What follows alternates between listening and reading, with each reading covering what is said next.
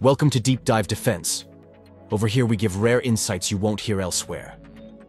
In this video, we will take a look at the reasons behind the failures of Iran's short-range air defense systems in protecting many of its high-value objects.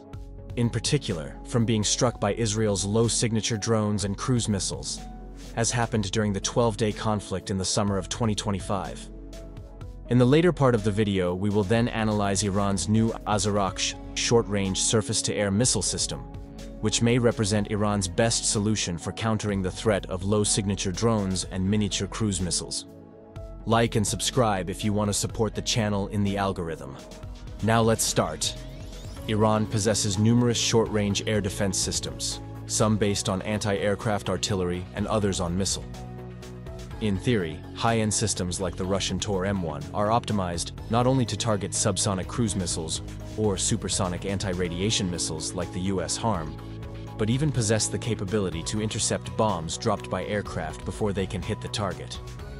While the Tor-M1 and Iran's variants of it, the Oghab and Dezful systems, are the topic of a future video. The approach Israel took in general was to reduce the radar signature of its drones and cruise missiles to such a degree that even such high-end systems failed to detect and engage them in time. With a lowered reaction time, a small swarm of several such compact stealth cruise missiles and one-way attack drones can successfully accomplish their mission, even if the short-range surface-to-air missile systems manage to intercept several of them. This is because a system like the Tor-M1 is technically restricted to conducting only two engagements simultaneously. A target detected late could therefore mean that by increasing the swarm size to just three, it could be ensured that one of the weapons slipped through and hit its target. One solution for countering such threats is to create a high-end short-range air defense system with a powerful radar and advanced capabilities to engage low-signature targets that approach in relatively high quantities. Such a system is Iran's Zubin air defense system integrated within the Navab surface-to-air missile. But the cost of such solutions is high, and the Zubin is a very new system not yet fielded at any significant scale. While such a system can protect very high-value targets, in the future, a lower-cost solution is necessary for the many lower-priority high-value objects spread across Iran's vast expanses. The range of such a system would only need to be sufficient to protect a specific small area within a 10-kilometer circle that requires object defense. Furthermore, Iran's mountainous terrain necessitates a system that is not restricted by the hills and valleys present throughout the country. A system that could fulfill all these requirements and is sufficiently low cost for widespread deployment could be Iran's Azarakhsh short-range surface-to-air missile system, unveiled in 2023. It is a small, low-footprint system mounted on a small off-road truck that is very difficult to detect when disguised as a civilian vehicle. And while it may look less impressive than other Iranian air defenses, it possesses a special feature that few of the others have.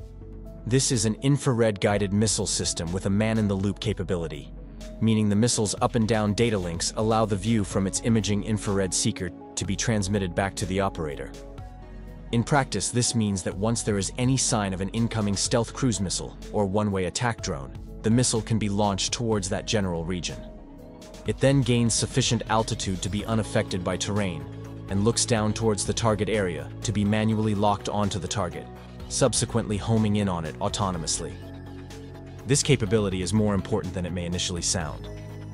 This is because small signature stealth objects often appear and disappear on radar screens, or use terrain masking to disappear into a valley, obscuring the line of sight and breaking the lock of systems like the Tor-M1 and Pantsir. Therefore, once a human spotter, or the radar system of the Azarakhsh launcher itself, or even just its thermal cameras detect a target, it is sufficient to launch the missile and utilize the lock-on after-launch man-in-the-loop capability of the system. Since its interceptor missile is based on the US AIM-9 Sidewinder and is equipped with a low-cost, uncooled imaging infrared seeker, the costs remain low. Furthermore, the missile has the opportunity to approach the target close enough to identify it and confirm its shape, better rejecting flares and homing in on it autonomously, with a higher kill probability. The radio up and down link may appear to be a weak point of the system, but in its role of point defense, the Azarakhsh will mainly be deployed deep inside the country, and hence remain largely unaffected by any standoff jamming attempting to break the data link connection and disable the man-in-the-loop function. Therefore, to counter Israel's widely used stealth miniature cruise missiles, like the Icebreaker, Wind Demon, and Spice 250, as well as one-way attack drones like the Harop, which together were responsible for most attacks during the 12-day conflict, the widespread deployment of the Azarakhsh surface-to-air missile system could be the key solution for this class of threat. Now let us examine the details of the Azarakhsh and its missile to understand what advantage this small and perhaps unimpressive-looking system holds over comparable ones like the Majid and the Tor M1 and its Iranian Oghab variant. First revealed in 2023, the Azarakhsh is a truck-mounted surface-to-air missile system equipped with radar, an optical tracker, and four AIM-9 Sidewinder pattern short-range missiles. The introduction of the Azarakhsh was surprising given that the same manufacturer, the Defense Industries Organization, had previously designed and produced the Majid short-range surface-to-air missile system, which uses a larger diameter rocket motor that can be stored in a sealed tube. Both systems use the same type of imaging infrared seeker, but the Azarakhsh has features that distinguish it from the Majid. The uncontainerized rail-launched Azarakhsh missile in relation boasts larger aerodynamic steering surfaces, and the option to be equipped with data link antennas that protrude outside the missile airframe. This is the key difference between the Majid and the Azarakhsh missile systems.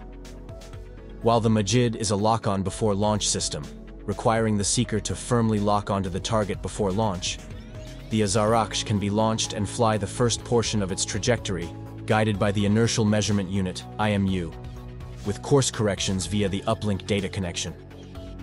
The Azarakhsh's origins lie with the AIM-9P short-range air-to-air missile of the Iranian Air Force.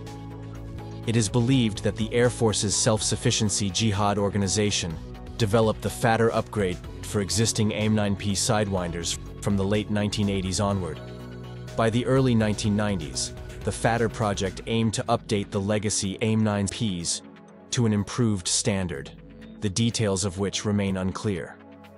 It is believed that ongoing work led to the Fatter 2 by the early 2000s, but the full extent of the Fatter program is still unknown. It is believed that the expiring rocket motors of the original US-made AIM-9Ps necessitated the Defense Ministry to establish a refurbishment line to refuel the solid propellant while also upgrading existing stocks to the Fatter 2 standard. As the need for an air-to-air -air missile to replace the AIM-9 Sidewinder grew in Iran, it is believed that a project began in the early 2010s to develop a missile based on the AIM-9 Sidewinder design that could serve as an air-to-air, surface-to-air, and even air-to-ground missile platform. This development was driven by the production of gimbaled imaging infrared seekers, for missiles and bombs like the Almas and Sadid series. Another crucial enabler was miniaturized avionics, such as an inertial measurement unit and electromechanical actuators.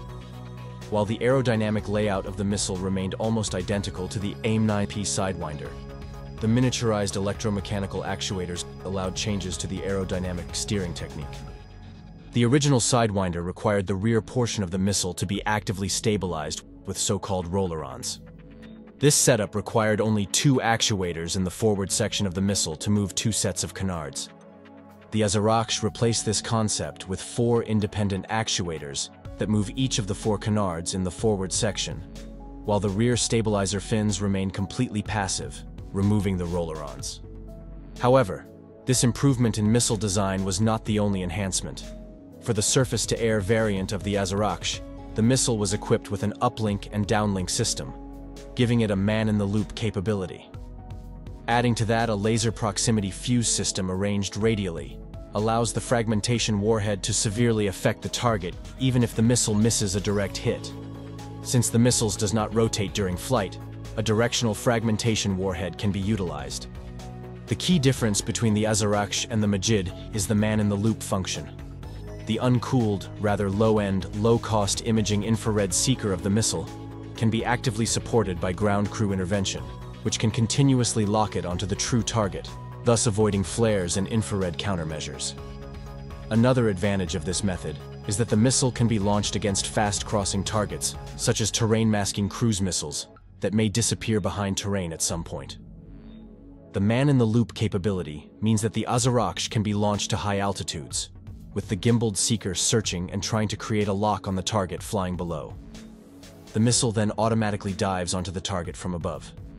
Even if the data link to the missile is lost due to terrain obscuring the radio signals, the imaging infrared seeker will be close enough to the target to robustly lock on with higher resolution, allowing it to avoid countermeasures more effectively. This niche role against very difficult short-range targets is why the Azarakhsh system is equipped with a three-dimensional short-range radar, while the Majid system only has its optical volume search system.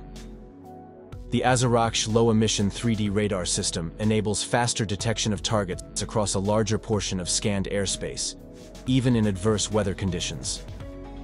The system's rapid reaction time is a crucial feature, unlike the Russian Pantsir S-1 system, which specializes in intercepting high-velocity supersonic targets. The Azarakhsh excels in targeting high subsonic speed threats that utilize terrain masking techniques to evade short-range air defense systems. A notable strength of the Azarakhsh is its robustness, particularly its man-in-the-loop mode, which allows for late-stage high-resolution locking of the seeker. This capability is essential against systems with advanced countermeasures and low-signature objects, such as drones with minimal infrared emissions. The man-in-the-loop function permits successful engagements at longer distances, which would be challenging for systems like the Majid that require a firm lock before being launched.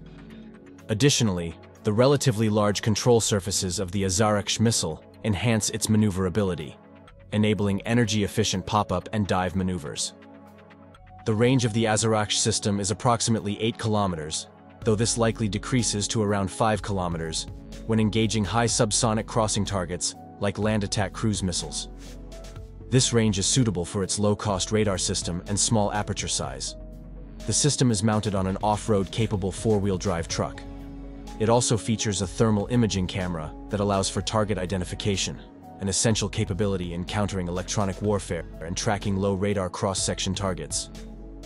In operational scenarios, it is believed that the Azarakhsh would be complemented by several Majid systems to handle less demanding targets. The Azarakhsh radar system would efficiently acquire, prioritize, and distribute targets for the Majid systems. The low-emission radar of the Azarakhsh reduces the system's signature and footprint. Moreover, the Azarakhsh missile employs a new smokeless solid propellant rocket motor, significantly reducing the launch signature of the already comparatively passive engagement system. Although not yet in operational service, the threat of terrain masking subsonic long-range standoff weapons highlights the Azarakhsh's niche role in protecting high-value assets in a point defense, object protection role. The system's low-cost design makes it effective against drones that might be difficult to hit with other systems lacking the man-in-the-loop feature, linked to an infrared imaging seeker. While a missile uplink and downlink dependent system might seem fragile in face of electronic warfare, the Azarakhsh is intended for use deep within Iran to safeguard high-value objects, where the intensity of electronic warfare is expected to be relatively low. It is anticipated that Iran's Air Defense Force or the Army Ground Forces will supplement existing units equipped with Majid systems with the Azarakhsh, providing a critical niche capability within the overall air defense structure. The low peak power radar of the Azarakhsh system is likely highly reliable and capable of prolonged operation. This reliability enables the system, along with accompanying Majid, to protect an area even if the connection to the upper echelon integrated air defense system is lost. While the Majid system of the Army has its own battery-level Shahid Jalalvand radar, the Air Defense Force may opt for the Azarakhsh system for that role. The emergency operation capability it provides is vital for continuously protecting high-value targets, improving system redundancy. Consequently, the system can provide continuous radar coverage and identify detected targets using its infrared thermal imaging cameras. All these features and its specific role make the Azarakhsh an attractive system for widespread acquisition by the Air Defense Force and other services. So that's all for today. If you liked it, give a thumbs up, comment, and subscribe. It really makes a difference in the YouTube algorithm and is a great support to the channel. The Real Enthusiast can become members and given access to exciting membership area material. Thanks for your support and motivation. See you next time.